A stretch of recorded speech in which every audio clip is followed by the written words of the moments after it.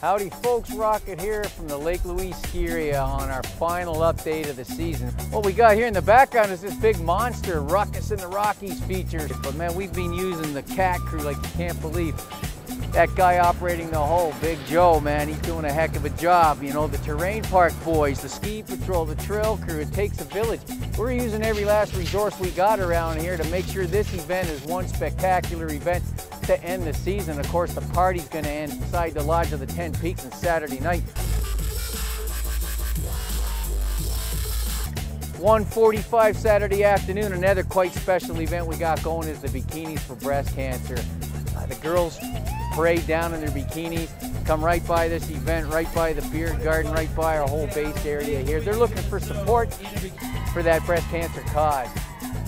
Sunday, you know, hey, Sunday, we want to see some families out here Sunday. We'll be toning it down in the base area a little bit down here so there's a little more accommodating for your average family. Yeah. Otherwise, folks, it's been a great season. We got lots to give thanks for, Uh, including you guys who have come up and enjoyed this place all winter long. We hope to see you next year. Season's passes are on sale for next year.